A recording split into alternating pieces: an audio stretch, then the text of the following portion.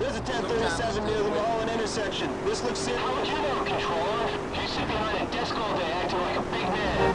Fuck you. Fuck you too.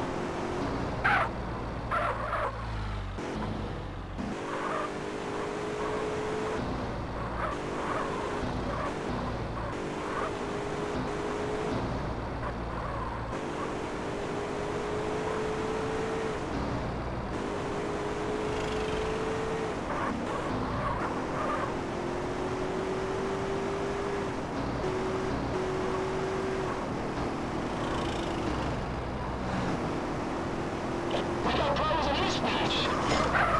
There's a 1019 in North Rodeo. You asshole, my shit! Get out of my way!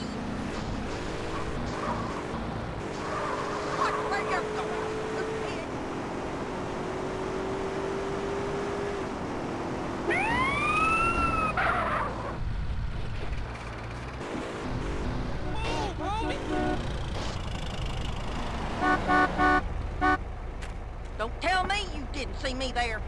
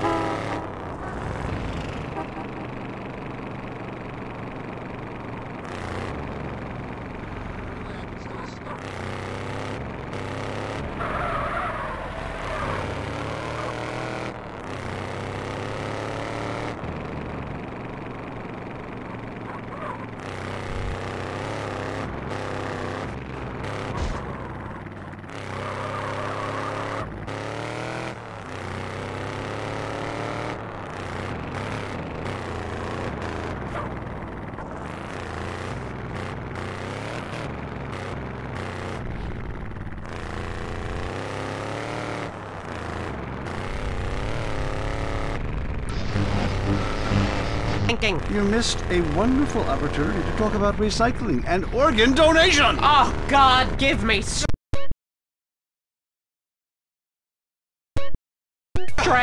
I married a fool. I married a fool. You know, when we first met, Peyton, I thought you were so glamorous with mm-hmm. your long hair and big ideas. You were studying for a PhD in cultural ceramic history or mm-hmm. cross cultural underwear or something, and I was very young. Very foolish. Hmm. Now I see you for what you are. And what's that exactly? An intellectual cesspit, a middle class disaster, a guilt trip wrapped in neuroses and completely unable to function in this society. No wonder I've begun to sleep around. And on that note, we have to go visit our marriage therapist. It was a conniving bitch and won't write me any more prescriptions for painkillers. Remember, when the left wing and the right wing come together, the country can really get going. Straight off a cliff. We'll see you next time. Boy, I can't imagine what those guys are like in the bedroom, but I'm sure it's a bit like the Bay of Pigs. That was I Say You Say. All the news the government wants you to hear. WCTR. There's a gritty new show this season on Weazel where the law is the drama and the drama is the law. What the hell did you go to law school for? I haven't changed at all. I was always over competitive and shallow.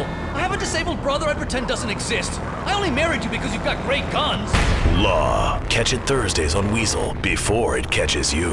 Up next on WCTR, it's the Man Coaches Hate. It's Derek Thackeray in the tight end zone. Brought to you by Eris Pump Up Shoes.